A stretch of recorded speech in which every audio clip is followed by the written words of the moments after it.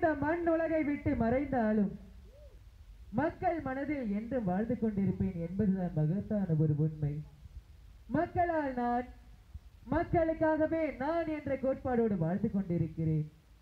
மின்வெட்டு இல்லாத உருவாக்க வேண்டும் என்றும் வறட்சி இல்லா தமிழகத்தை உருவாக்க வேண்டும் என்றும் எனது கட்சியினர் அயராது பார்த்துக் கொண்டிருக்கிறார்கள்.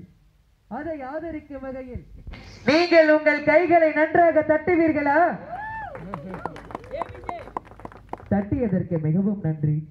கட்சி பணிகள் அதிகமாக இருந்தாலும் இந்த திருவிழாவிற்கு என்னை சிறப்பு விருந்தினராக அழைத்ததற்கு என்னுடைய நன்றிகளை தெரிவித்துக் கொண்டு நான் இங்கிருந்து விடைபெறுகிறேன். புரட்சி தலைவர் எம்ஜிஆர் நாமம் வாழ்க அறிஞர் அண்ணா நாமம் வாழ்க என்கின்றது விடைபெறுகிறேன். நன்றி வணக்கம். நன்றி நன்றி நன்றி.